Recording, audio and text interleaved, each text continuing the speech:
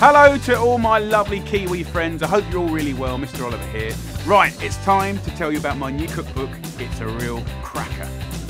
Let me tell you a little bit about my new cookbook, which I'm really, really excited about. It contains, without doubt, my most scrumptious, gratifying, new and exciting recipes.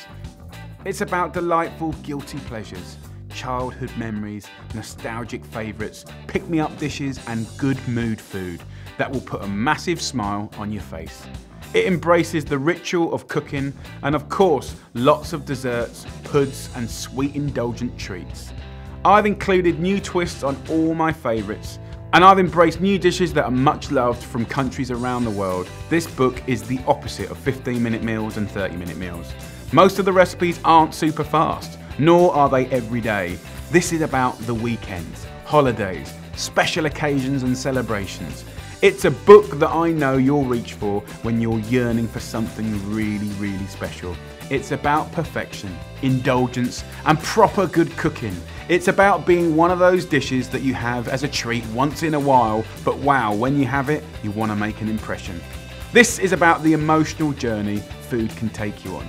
It's about taking the time to enjoy real cooking, whether that's putting a bit of thought into the perfect bacon sandwich or following a few simple stages that will give you the ultimate lasagna.